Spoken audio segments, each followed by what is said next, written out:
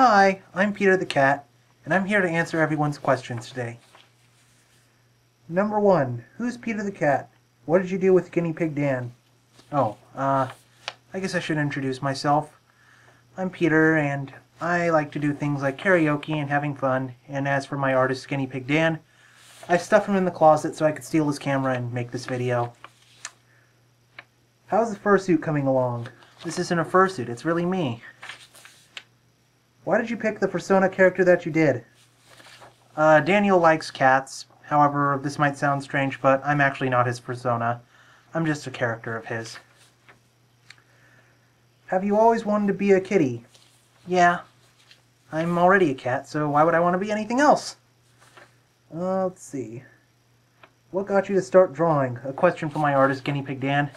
He read a lot of Garfield as a kid, and he wanted to be like Jim Davis, and he started making his own cartoons. Alright, uh... Are you friends with Pete and PJ?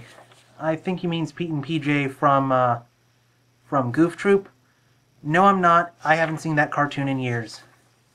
Next up. What size are Peter's feet? I'm a nine and a half, give or take. And have you had any trouble walking barefoot?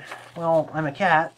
Going out in, my, in uh, going out in my paws is pretty much natural for me, so not really. I don't have any trouble unless I like step on a rock or something.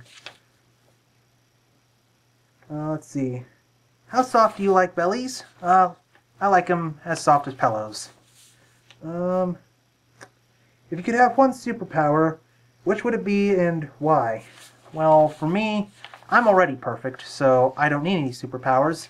As for my artist, Guinea Pig Dan, he told me that he'd like telepathy or psychic powers, you know, move stuff with his mind or read what other people are thinking. So we're kind of different in that respect. Uh, let's see.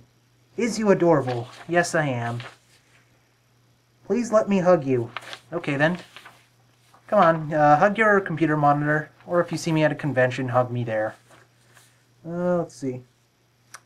Do you like to play board games or card games? Uh, yeah. I like Battleship, Monopoly.